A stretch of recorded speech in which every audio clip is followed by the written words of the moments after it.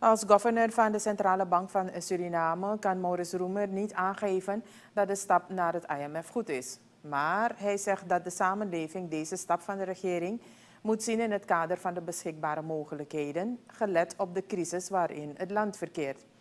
Hierbij moet er volgens Roemer gedacht worden aan fiscale, schuld en monetaire vraagstukken, zaken waarin het IMF volgens hem een specialist is.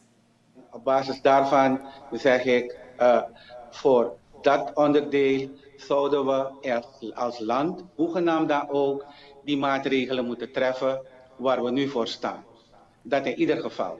Als ik kijk naar uh, de rigide wijze waarop het IMF invulling geeft aan dit programma, dan zeg ik als onafhankelijke uh, governor in deze dat, uh, dat we hier, hiermee natuurlijk uh, wel goed moeten uitkijken. Zeker als het gaat om de ontwikkeling voor sociaal zwakkeren.